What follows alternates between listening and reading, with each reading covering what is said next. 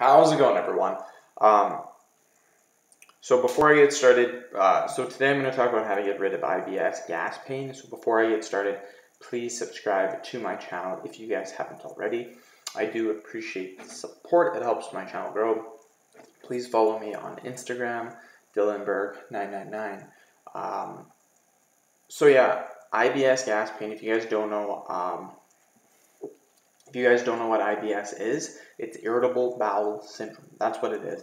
Um, um, with um,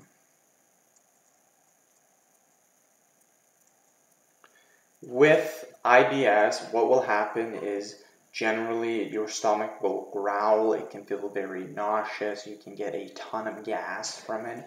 So that's basically anything to do with stomach issues gas has to do with irritable bowel.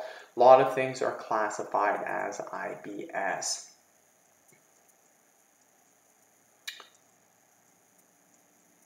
um, one of the things that I had when I had IBS is my stomach would growl, and then once what once what happened is that because I would try to suck in my stomach, because that's how you can get rid of growling in your stomach. You just suck in your stomach, and I found that gets rid of growling because it's so embarrassing to be sitting in class in college and having your stomach growl so loud. People just stare and look at you. Some people even say, "Shut up." So, um, what I recommend doing um, is to take a Gas X product.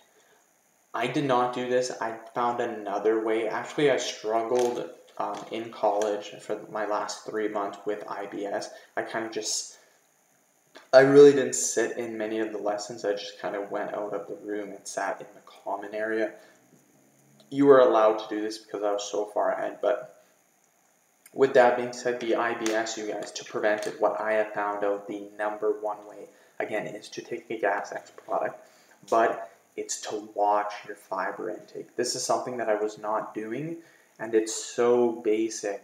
And I guarantee you, a lot of you that are having IBS, you aren't watching your fiber intake. It's not really, it's your fiber intake, but it's also certain foods. Certain foods will cause your IBS. I guarantee you that. My triggers were yams and chickpeas.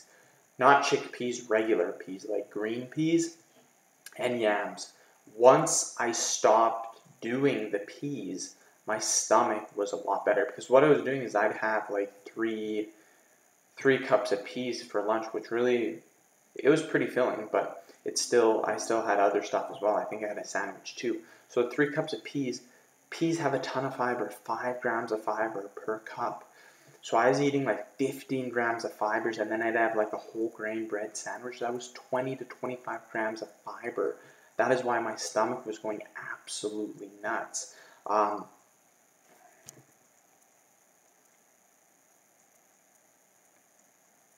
so yeah, end of video. Thank you so much for watching. Please subscribe to my channel if you haven't already. Please follow me on Instagram, Dylanberg999. Thank you.